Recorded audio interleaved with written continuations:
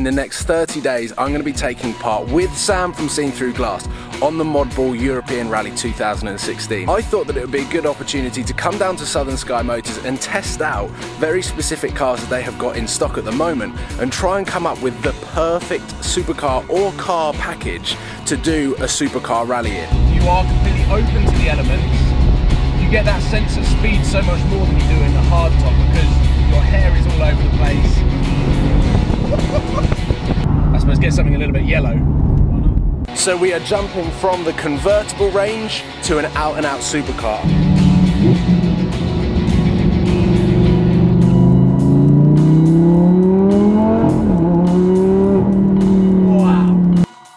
Well, I'm not sure Thursdays get too much better than what I'm currently experiencing now. We are on the hunt for the perfect package to do Modball rallying. That's not saying that me and Sam aren't considering taking our own cars, the AMG GTS or the F-Type. They're both fantastic GT cars, and as we've learned over taking them on Europe once before, they are incredible at long distances. However, I'm basically wanting to know what is the best or what is the perfect package in a car to do something like the Modball Rally in. So from London to Valencia, over 1500 miles, spending so much time in a car.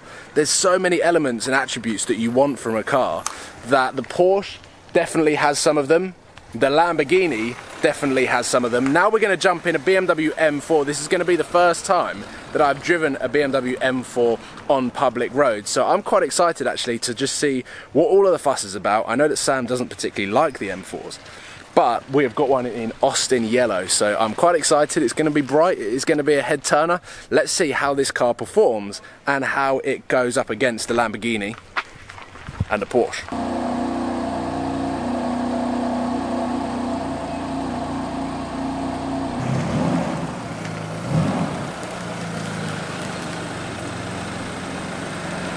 Here we go, we are now driving a sports car, automatic, flappy paddles, a car that you have owned. I've owned, yeah. And that you absolutely love. I love, yeah. You love the BMW M4. Great car.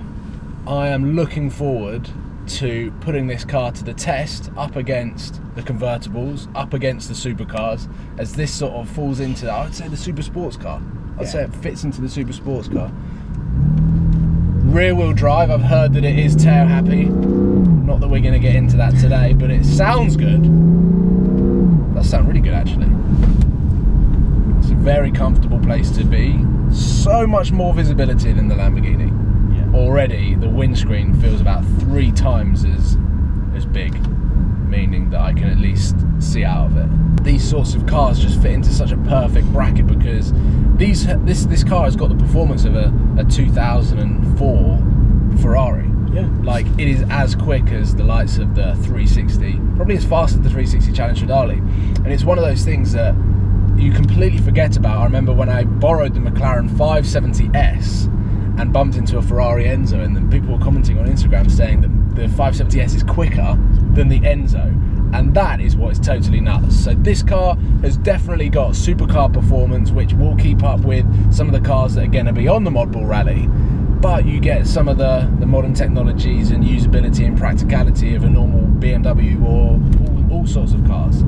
Yeah, this being, I suppose, up against the C63 would you say it's up against the RS5 as well? Because this is kind kind of feel this is a direct rival to the C63. Uh, they, they sit in the same. You know, it's the three rivals. It's yeah. the C63, the RS5, and this. And I, I think, you know, for me, this is the, the drivers.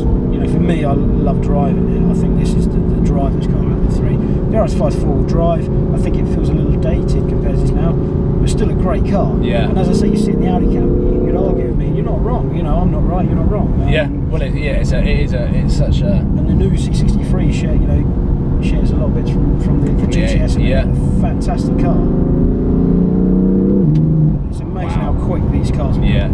This car feels faster than the turbo.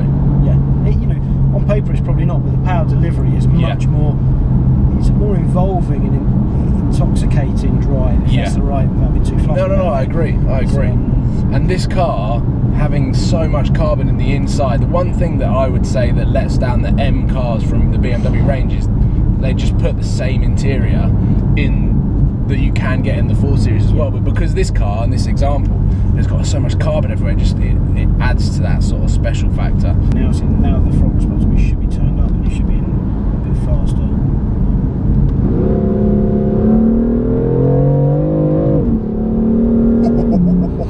What are those gear shifts? They're pretty exceptional. That's. A, oh, I'm doing that again.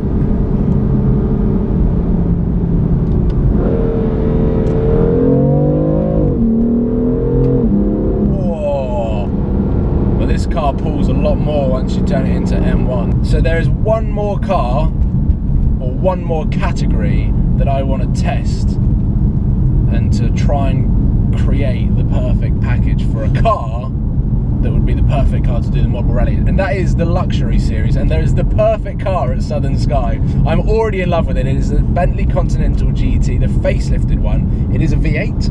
No, It is a W12. W12. So W12. it's got the proper engine, and it has got a ten thousand pound carbon fibre body kit from factory. From it's not a Mansory. It's a factory carbon kit, front splitter, side skirts, and rear diffuser that I will show you. And that is what I'm excited about because it has got even more performance than this, even more luxury than this. Yeah. But of course, it costs more than this. From car number three to car number four. I like I said, I'm already in love with this car. I think it is absolutely amazing, and the dream daily has got to be a Bentley Continental GT. I know it's quite a footballer's car, but I think it is so cool, super comfortable. And Sam, who is currently owning a Ferrari F40, who I did the McDonald's roulette with, he had one of these for a bit and I fell in love with it. It's so comfy, I spent quite a lot of time in it. This car is spec'd to perfection and this is definitely the luxury category from these selection of cars. So we've done the Porsche, the convertible, we've done the supercar, we've done the sports car. Now it's time to do the luxury and whether a luxury car is the way forward on the Modball Rally. And look at this. This is what luxury is all about. All these buttons, stupidly thick carpets. Oh, look at this. Oh, let's get the GoPro set up. I'm feeling, I'm excited. This is the one car that I'm the most excited about actually driving out of all of them. Just, I don't know. I definitely need to move these seat around though. You'll find the uh, massaging function at the front of there if you want. What? I'll give that a go as well. Winner that is. So, is it? Does this car send the um, seatbelt Yeah. back? Yeah. Yeah, that'll go once you start it. Oh, we need the key. No, it's there. But- Oh yeah, look. There you go. There, she goes. Let's get the aircon on. Do you want an air conditioned seat? for you today? yes. So many gadgets in this car that. I don't put it down. There you go, yeah. That's different to mine. Right, okay, so this is the first few meters that I've done in the car, and it is coming up with my average fuel consumption is 13 mpg. Respectable. so, what you get with a lot of luxury, you are compromising on potentially a fuel economy, but again, because this is a W12, maybe that is the reason why. But uh, this is so quiet, it is so comfortable, it is so relaxing, it is so smooth, it is hot. You kind of feel like you're a bit king of the road in this. You get that sort of impression that the way that you sit, the driving position, the way that this car drives, the silence that this car carries itself in, you do feel a little bit like royalty, which is why. Do the, do the royal family have Bentleys or Rolls Yeah, Royce? Bentleys. Bentleys, I thought it was. Rolls Royce is not Once we get some open space, I'm going to be able to put my foot down and work out just what you get with luxury, but what you lose from luxury as well. But one thing you do get is massaging seats. Mod. Oh, it's like working its way up my back. there. A long drive. It's. Yeah. So let's say we're sort of in our final leg. We are driving from Monaco to Barcelona. Not the final leg. That's the penultimate leg. Barcelona to Valencia. It's been a long week of filming. No technology as well because in the Modball Rally this year, me and Sam are not allowed to use our sat. In terms of technology, like we're going to be pretty screwed but massaging seats will make that all a little bit better. And it's really working actually, it's quite nice. I'm just gonna lean back and actually put my foot down. Wow. Let's, let's put it in sport, just knock the gear stick back and I put it in sport like that as well. And it, and it makes a difference. Yeah, quite a bit, yeah. Just put it back. So that way, Sorry, no. Right. Push the belly button, put it back. oh like that. There you go. Oh, here we go. Oh, and I've got S5 now, it's on it. Let's start. So here we go. Whoa! Whoa! I don't think a Bentley's been driven like that. Whoa! it's like a proper speedboat.